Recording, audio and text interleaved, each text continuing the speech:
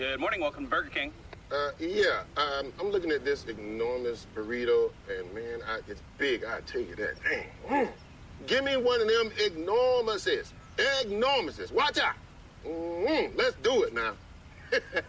okay, I think I know what you're ordering.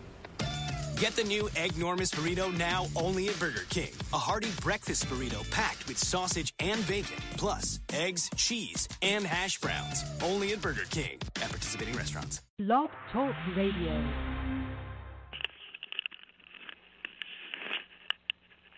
Hey, this is Lee. How's it going? I boy, so it's been a while since I've been in Blog Talk Radio.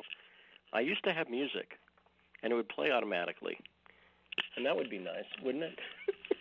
but instead, it just started. Hang on one second. Let me just get this. The internet is so bad in Twin Falls that I have to do a Blog Talk Radio thing because the phone service works. So hang on one second. Let's just see if these, this is working. I just got to see if this is working. It's all the boring stuff. I don't see it working. Hang on one second. Let me try this again. I'm live. Um, talk. This is horrible radio, by the way. But I got to do this, or there's really no point. And then I'll explain. There's exciting stuff going on. There's a. Uh, hang on. That's another problem here. One second. Ah. If I had music, I'd play it right now. There we go. There we go. And I don't think normally I would like I say it's been months since I've been on Blog Talk Radio. Hopefully you can hear me. I don't even have any feedback mechanism. Blog Talk Radio, horrible radio here. There we go. And I'm now promoted on Twitter and Facebook. Hi, how's it going? So I thought I would do. Uh, I was going to do Periscope. Let me explain what's going on. So I was going to do Periscope, I was going to do Facebook Live, but literally the internet is so bad here, and at the hotel I'm at, at night when people use the internet, uh, it's it's deadly. I mean, it is like Afghanistan internet. It is it is that bad. It is mid 15th century internet, Sharia internet. That's what it is. But now, okay, so now I'm up and running. I got the show working. It was a lot of work to get it going too. By the way, it's a lot of work, but maybe I'll be able to get things going. I might I might start doing blog talk radio shows uh, for the next few weeks or something like that because it is a good format. I do like it. We're going to be teaching a class on how to do it at some point, so I might as well get back into it. So let's just pretend we're starting here. We're going to start again. Ready? But then pretend there's music here. I'll just go like this. Dun dun dun, and then here we are, and we're back. Hi, Lee Stranahan. How's it going? Blog Talk Radio, Radio Stranahan. So, listen, I got to be. Uh, this show's only going to be about uh, 20 more minutes because I have to get up bright and early because the Twin Falls City Council is doing a city council meeting at 6:30 a.m. I'll say it again. 6:30 a.m. in the a.m. That would be the morning. 6:30 a.m. about economic development here. And so let me just give you a quick uh, recap on the Twin Falls situation. I've been up here since the beginning of August.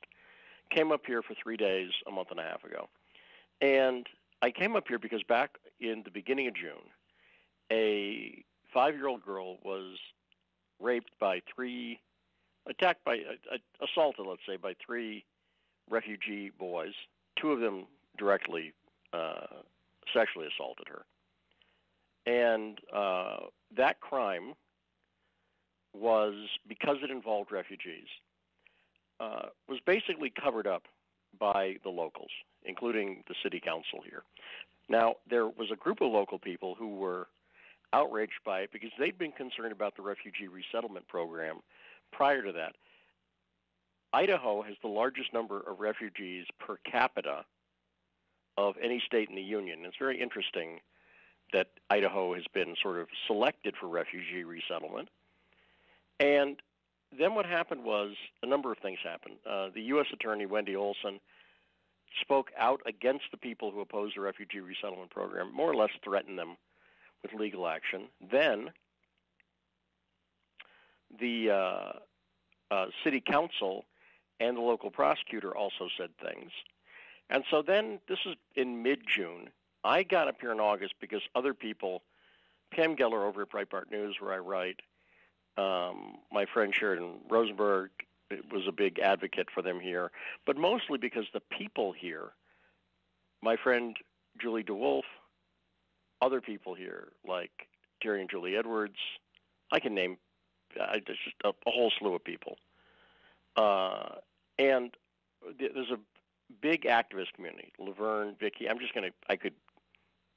Glenita. I could keep naming people, but they're just names to you. But the, and there's a bunch of people I'm leaving out, and so this group of people up here has been really vigilant about this issue and has been pushing it. So I came up in August and uh, immediately uh, wanted to set a factual record straight. And I realized that the refugee resettlement issue is really part of a larger issue, which is the issue we're facing in this election, which is globalization. Now, over the course of the past month or so, I've also come to realize that, look, if there's an issue in this election, if there's an idea behind the Trump campaign, and he's talked about it recently, it's this idea of populist nationalism. Let's just define those terms. Populist means it's a people driven movement as opposed to the elites or establishment. Who's the elites or establishment? You know who they are. It's politically connected businesses, it's politicians who've been bought out by big business. It's the same thing in a sense that people like Bernie Sanders uh, and his supporters have been talking about. It's the same thing the Tea Party was talking about their concerns with too big to fail, right? So there's an interesting shift that I see happening in the United States. And it's looking at things not necessarily from a Democrat or Republican standpoint, but from the idea of populism. Trump is a nationalist populist, which means he is America first, right? That's his make America great again. And so, in the course of this, we realized that that I, I've been to the city council a few times now, Let's be clear about that too. I've been to the city council a few times, and uh, the arrogant would be the word, aloof.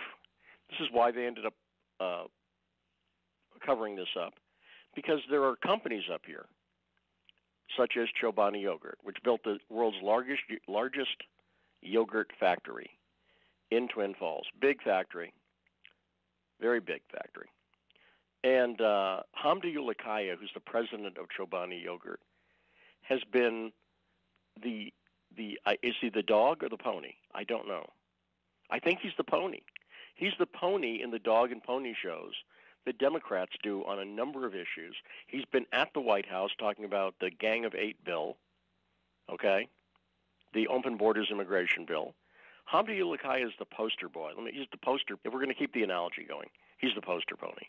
Hamdi Ulukaya is the poster pony, and the Democrats use him constantly to promote everything from gay rights to Hillary Clinton's idea. This is one of her platforms in her plank, uh, one of her platforms in her presidential run, of giving companies incentive to give ownership of the company to workers. Okay, that's one of her planks. Hamdi Ulukaya has done that. That's another story, but he's done that. Hillary Clinton did a press release about it. Hillary Clinton tweeted about it. They use Hamdi Ulukaya, and also he's a huge advocate for the refugee program. That's his number one issue. So the city council here is kowtowed by this guy, kowtowed by a pony. Let's just put it that way. They're kowtowed by a, a poster pony. If we to sum up this episode, it would be that they're kowtowed by a poster pony. And that means that they don't want to say anything because this guy is such a big advocate for refugees. In fact, he brags that he's hired 30% of his workforce are refugees. Now, let me just, I want to phrase that another way. He's bragging that 30% of his workforce isn't American. That's what he's bragging about. Right? So if he's bragging that 30% of his workforce is are refugees. He's really bragging about how many of his workforce aren't American citizens. And, you know, I guess we've reached a point where saying uh, what is about that is uh, you're you're called a racist. You're called every name in the book, right? That's what's happened, and I don't believe it's racist. I don't think there's anything wrong with saying "Make America Great Again" or "Put America First. I think plenty of other countries do it, and I think it's also about damn time we did it. And judging on the poll numbers for Trump, which are rising, I think a lot of Americans feel that way. And I think a lot more Americans feel that way than are telling it to pollsters. Because again, when you say that, when you say you're America first, you're going to be attacked as a racist, a xenophobe, every other name that the Democrats have been calling people for 50 years. So, so, so, so. Julie DeWolf and I uh, started scheming a few weeks ago, and we came up with this idea of populist na- uh, localism. Forgive me. Populist nationalism is what Trump is preaching, America first, and we're saying at a, at a city and state level, people need to start putting their own hometown first. So tomorrow morning at 6:30 a.m. and again, that's not suspicious at all. That's that's very transparent government. The city council is meeting, and of course, a bunch of the local patriots and I are going to be there, participating in democracy, having our say. And they have a new head of economic development who will be there, and we look forward to meeting him. And we'll be talking to him about a couple things. We'll be talking about his economic development plans, but one thing I want to talk about is what will he and the city council be doing to assure the jobs are going to Americans first? That's my simple question. What will you do to assure that Americans are the priority of the City Council of Twin Falls, Idaho? That's one issue. I'm going to tell you another economic development issue. This is one people don't talk about that much, but let's uh, we're going to start talking about it here. See, because the other thing that's happening tomorrow afternoon is that uh, Julie and I are going to have a press conference to announce our group, Make Your Hometown Great Again, which is our populist localism group. And we're going to be applying citizen activism, citizen media, to some of these issues and talking about these issues. Now, practically speaking, one of the things that's going to come up is we're going to ask not only why, how do we know the jobs are going to go to Americans, but also how do we know that new jobs that are created are going to be good full time jobs, not 30 hour a week jobs. You see, because one of the things that's happened here in Twin Falls is that poverty among school children has risen in the past four years.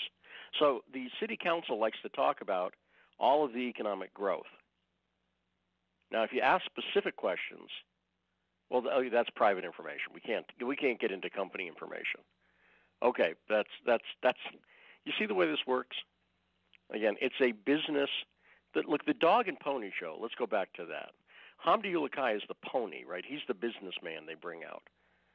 But the politicians are the dogs. The politicians are the dogs, and they work together, and they work together for their own agenda. They work together primarily for their own agenda, and everybody knows that. Uh, Trump supporters know it. Sanders supporters know it. The question is, what do you do about it? Our group, Make Your Hometown Great Again, what we're doing about it is we are taking it on from the perspective that the Bernie Sanders supporters are wrong in their approach to solving the problem, which is they want to make government bigger, which is wacky. That's that's that's exactly the wrong solution. Unfortunately, that is exactly the wrong solution. What you have to do is make government smaller there's no question that businesses are a part of this problem and a part of this equation. The Sanders supporters focus on business as the problem, and I don't agree with that. I think you need to reduce government. But you also need to open it up to more transparent government. And quite frankly, I think we can make alliances, particularly on certain issues, with people who are Bernie Sanders supporters, or even people who are starting to realize that Hillary Clinton has hoodwinked you. Even if people look, I don't care where you, or if you're, if you're a a libertarian who thinks maybe Gary Johnson should have known what Aleppo was, maybe. That's not really a local issue, unless you're in Aleppo. By the way, if you're in Aleppo, it's a very local issue. And by the way, make Aleppo great again is probably a good idea. It used to be a very pretty city. I've interviewed a number of refugees from Aleppo, and now it's hell. It's been destroyed. And here's a here's a crazy way. It's federal. I mean, it's not really local, but I'll just mention this: is possibly don't start wars that create refugees and then send the refugees into the United States. That's a crazy idea. But that's what's happened here. Look, that's what's happened here. The same politicians and business people who are in favor of open borders stuff Hillary Clinton, John McCain, Chuck Schumer, Jeff Flake, Marco Rubio, these people, the gang of eight people, the people supporting open borders policies, like Hillary Clinton, these are the same people who created the war. McCain and, and Clinton, in particular, helped create the situation in Syria right? So let's just bear that in mind. This is the way the whole little factory works. You create a war, create refugees, send the refugees over. They're cheap labor. The munitions industry is happy. Local business is, but like we've seen here, poverty is on the rise. Poverty among school children is on the rise. So the other thing I want to ask them tomorrow, aside from what are you going to do to make sure Americans get priority in the jobs, is what are you going to do to assure that these are real jobs, not part time jobs that keep people in poverty. Don't just talk about the wages. Don't just talk about the unemployment rate. See, because what they do is they gin those numbers up, right? This is what they do. They're able to gin the numbers up on unemployment by saying, well, they're employed. Well, how many hours are they employed for? Is it something you can feed a family on? Is it sustainable? So one of our big issues is transparency, which gets back to the 6:30 a.m. meeting. What's up with that? I mean, that's I'm curious about that. I mean, I think what they're I think call me paranoid, but I think what they're doing is complying with the letter of the law, right? So technically, technically, they're following the law. But you know, are they following the spirit of the law? I don't know. I don't know. I'm skeptical. Uh, so we're going to find out. We're going to find out what's going on tomorrow. Um, I'm, you know, and by the way, it's not just going to be me. It's not just going to be Julie. It's going to be a number of people. Looking forward to it. So anyway, that's what's happening. I wanted to give you that update, talk about a few of the issues. Look, I'm not ashamed to to go in front of the city council and say, what are you going to do to put the local citizens first? What are you going to do to put jobs, good jobs, full-time jobs? And by the way, it's a whole other issue there, which is, of course, the, uh, Obamacare. Look, part of the reason people aren't em- getting employed full-time is because of Obamacare. Employers know that if they get above a certain number of hours, they have to kick in benefits. And this is another part of the system that just needs to be untangled. But anyway, that's what that's what we're dealing with tomorrow. So I'm going to end the show. I think. Let me see. I think I'll end the show. Let me see if I can get to it. Yeah, there we go. I'm going to end the show. I'm going to end the show. This is Lee Stranahan. I got to get things organized, organized on this end. Although I'll tell you what, though. One second. Let me just try one thing. If anyone's actually listening live and wants to call in, the number, if you want to call in, area code 619 924 0786. I'll just give that a try. 619 924 0786. If you're listening to the show, you can probably see the call in number right now. Forgive me, that's my Hillary hack. Oh my goodness. It's really just a lack of water. But if anyone wants to call in right now, I'll try taking the call. I think I can do that. I think it'll it'll it'll work. And if if no one wants to call in, I'm just going to end the show in about a minute. So this will be an awkward, uncomfortable minute of me hoping someone calls in. But uh, I should also mention, uh, since we're having an uncomfortable minute, speaking of uncomfortable, I am planning, not planning, I'm in the I'm moving up to Twin Falls right now. My family's, uh, my lease, we've been in Dallas, Texas about seven years. And uh, our lease is up in October, and we got to move someplace. Um, and we've outgrown the place that we're in. And uh, I, re- you know, I've said this before, but I really like Twin Falls a lot, and it's going to be fun at 6:30 in the morning to be with my big thermos full of Dutch Brothers coffee.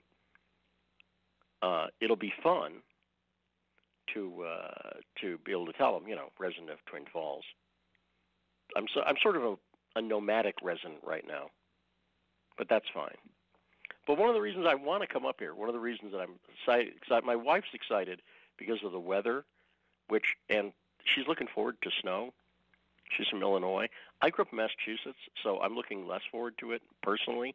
I moved away from snow for a reason, but my family's all looking forward to it. So we're, I'm sure we're going to get a little bit of snow in in Idaho. But I'm also just looking forward to to working with the people and to to uh, I'll just end on this note since no one's everyone's giving me a sad. No one's calling me, but I know I sprang this on. Oh wait, wait, wait! Look at this someone on the phone. Let me let me try it. Let me see if this works. Hang on one second. Hey, this is Lee. You just barely caught me. Who's this? It's John from the Woodlands speaking to Texas. Oh, hey, how you doing? You're from so you're from uh, near Houston, right? Yeah, just north, about 30 minutes. I've been there. I was there for the Donald Trump rally there a few months ago in the Woodlands. And I missed you. I was out of town, and that actually looked like a good one. It uh, they didn't let it get out of hand. No, it, no, they didn't. Yeah, I was there. I was covering the protest. There was one fist fight, um, but you know that's pretty good. That's pretty good. But they kept it. They kept it to solid. What's uh, what's on your mind? What can I do for you tonight, John? What's what's going on?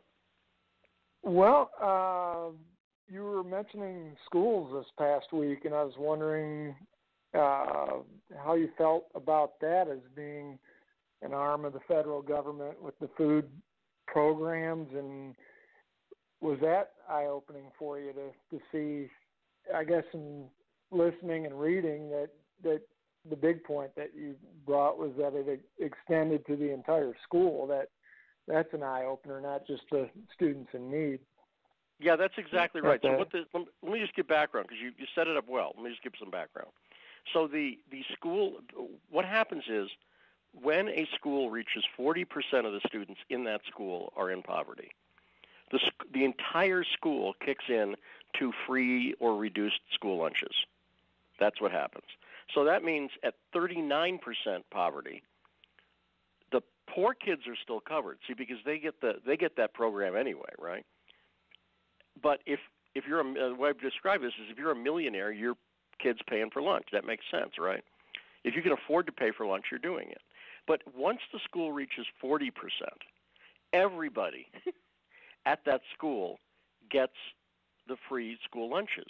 And it, here's what happens, and this is why it's important, because it happens and it's paid for by the federal government.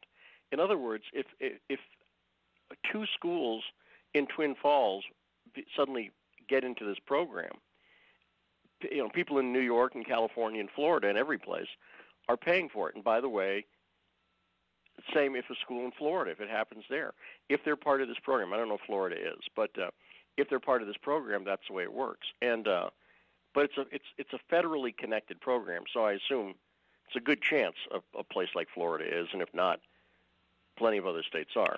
So you know, one of the things we're doing with the "Make Your Hometown Great" thing, and uh, is the way we're tackling it, education, the way we're look, the way we're tackling a lot of these problems is we think there's too much federal involvement, and even too much state and local involvement. And a part of what happens is because that program I just explained, right? It ends up being a way to funnel federal money in. So now you've got this incentive for corruption and this incentive for poverty. I don't know how else to put it. You're saying to the schools, hey, we'll give you all this federal money if you have more poor kids. Well, you know, anybody who knows anything about the way human nature works understands you've just created an incentive for poverty.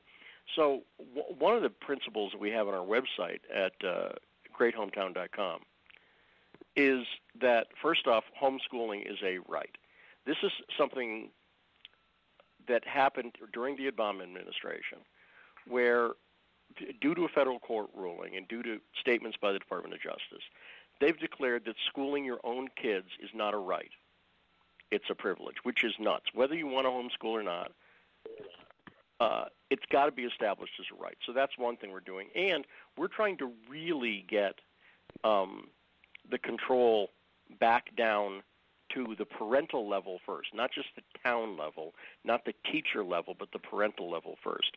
So that's part of our approach to it. But does now does that answer your question? It does, and I just think it. I spent some years in education, and it can become a racket. I mean, look at Chobani providing the yogurt to the schools. You know that I don't think is a coincidence. So it no, gets everybody not, on the hook. No, that's exactly right. These big look when this is unfortunately the Democrats and the Republicans both learned this. They learned that the the government is a big supplier of huge amounts of money, right? Uh, forklifts full of money, and if you can get a federal contract for you know whatever yogurt or cheese or pizzas or whatever, right? That's a lot of money. That's a lot of money, and it's solid money. It's steady money because the government once you get into one of those contracts, it it's just you know you're in the bureaucracy at that point, and so it is unfortunate. And the the most disgusting thing about that school lunch program, uh, this is because of the uh, Michelle Obama inspired the Healthy Kids lunch program, is how much food and is where getting do her wasted. kids go to school? They they go they go to the Sidwell School, I think, same school Chelsea Clinton went to. Um, I'm pretty sure that Sidwell School is not on the free lunch program. But uh, this federal program that she sponsored is responsible for a huge amount of food waste where they have to give the kids food, but the kids don't have to eat it. And so in Los Angeles Unified School District, for instance, one year they wasted, they threw away $18 million worth of food. And it's very interesting. Liberals, on one hand, talk about poverty and homelessness and all that stuff. On the other hand, they promote a policy that encourages waste. So uh, it, it's really horrible. Hey, John, thanks a lot for calling. Look, I really you, you did. You just as I was about to end the show, you caught it. But uh, thanks for calling in. And now this is proven to people that you can call in. Uh, I'm gonna, like I said, I'm gonna end the show now. I got to get my music back up on the because you'll you'll hear. When I have my music, it sounds pretty impressive. But anyway, this is Lee Stranahan. Thanks, John, again for calling in. Thank you for listening. Till next time.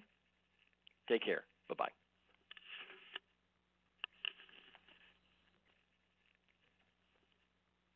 Good morning. Welcome to Burger King. Uh, yeah, um, I'm looking at this enormous burrito, and man, I, it's big. I tell you that. Dang. Mm. Give me one of them enormouses. Enormouses. Watch out. Mm-hmm. Let's do it now. Okay, I think I know what you're ordering. Get the new Eggnormous Burrito now only at Burger King. A hearty breakfast burrito packed with sausage and bacon, plus eggs, cheese, and hash browns. Only at Burger King at participating restaurants. Good morning. Welcome to Burger King. Uh, yeah, um, I'm looking at this enormous burrito, and man, I, it's big. I tell you that. Dang. Mm. Give me one of them enormouses. Enormouses. Watch out. Mm-hmm. Let's do it now. Okay, I think I know what you're ordering.